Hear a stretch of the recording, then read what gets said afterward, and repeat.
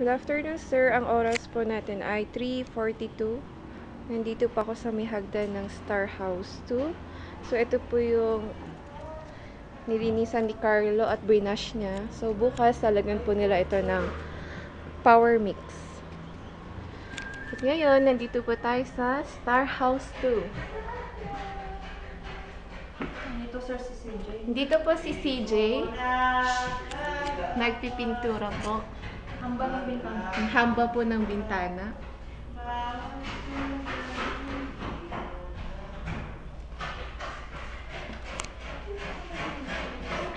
Kasi ito yung cabinet. Ah, sir, ito po yung mga cabinet natin. Sa Star Na House first coating na sila. Ano? Na first coating na nila. Ma, na first coat, may first coating na po yung ano, yung sa may cabinet. Nakapuso na. Hindi ah. Marinig to. Nalita ko naman ito pag nakapuso pa lang.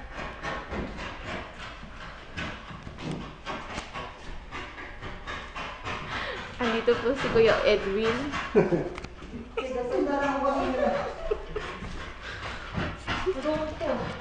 Tapos sa room 2. Ito, tatakpan ko na ito. Ito yung lalagay ko, plywood. Ah, lalagyan po ni Kuya Edwin ng plywood. Tatakpan lahat. Po, mini-measure niya po kung gaano kahaba. 80. Tinatawaran mo pa. Ito naman po si Carlo. Wala. Natanggal po yung pintura. Nagpapakahirap po, sir. Mabago yung pintura niya.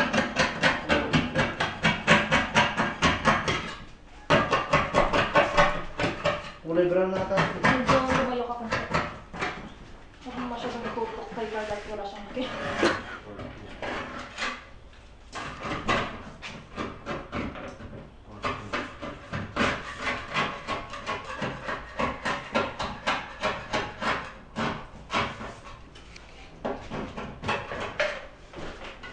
Ilang video niya? Up and down.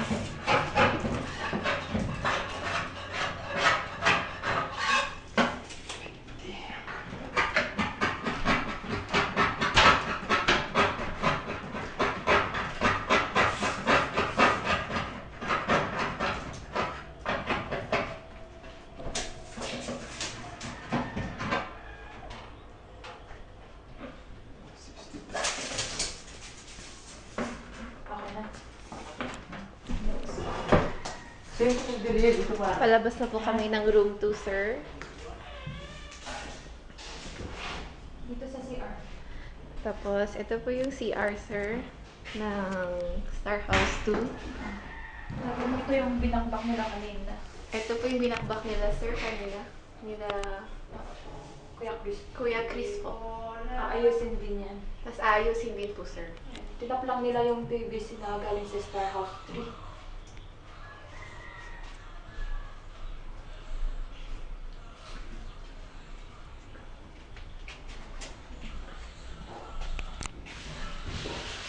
Dito na lang yung Room 3. Ah, sir, andito po kami sa room 3. Yan si Kuya Chris nag-baby spray lang ng buhangin. And sabihin mo yan yung pagkalitadahan niya. Sir, ito yung papalitadahan po ni ah, Kuya Chris. Up and down hanggang sa baba.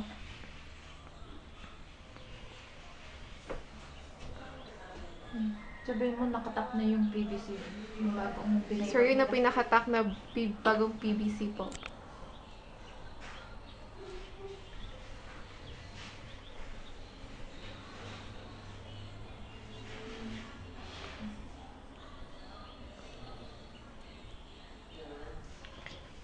Okay na.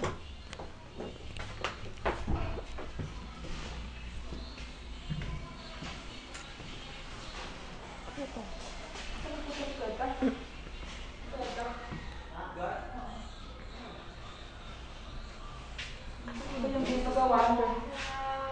Ito yung Eva's quarter. Sir, eto, dito po kami sa Eva's Quarter.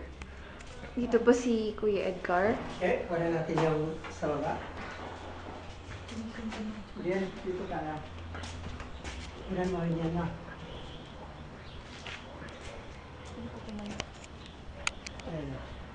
Lumabas na yung line ng PVC. Papunta na yung septic tank yan. So pipintuhan lang natin ang kakulay ng dingding para hindi disimulado. Isasabay na natin ito. No? Itong, ito naman sir yung pasingawan natin. Kasi gumawa sila ng septic tank walang pasingawan. Kaya okay na yung, okay na yung pagpa-flush. Hindi na nabubulunan yung CR. Sundan ko?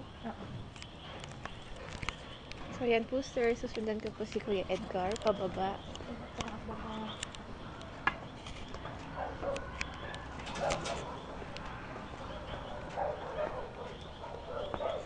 Laundry area ng Star House 1. Ito po, dito kami sa laundry po ng Star House 1. Ito yung galing sa third floor.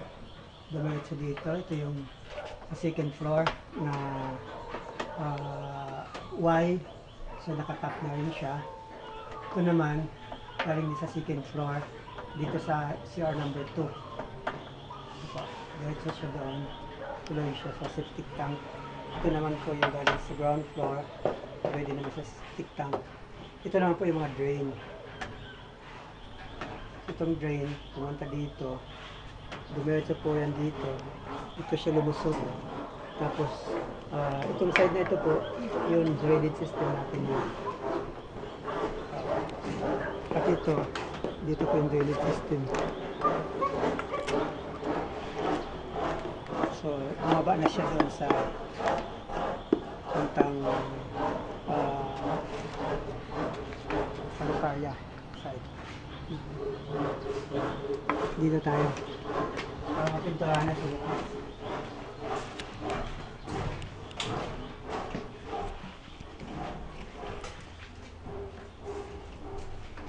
Sure, ito yan na ha. Sabihin mo ng room 3 ng Star House 1. Wala Nandito po kami sa room 3 ng Star House 1. Wala nang umaagos. So bukas pili siyang first coating ng flat latex. Ah. So okay na siya. Wala na tayong problema dito.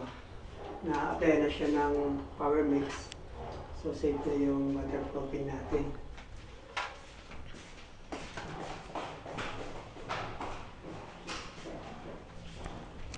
Ito po yung room 3. Room number two. Room number 2.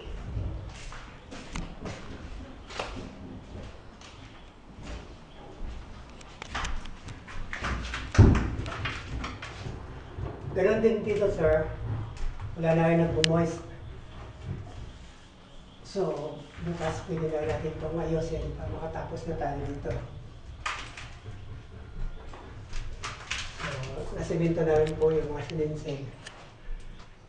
Kaya bukas pwede na tayo mag-finish dito.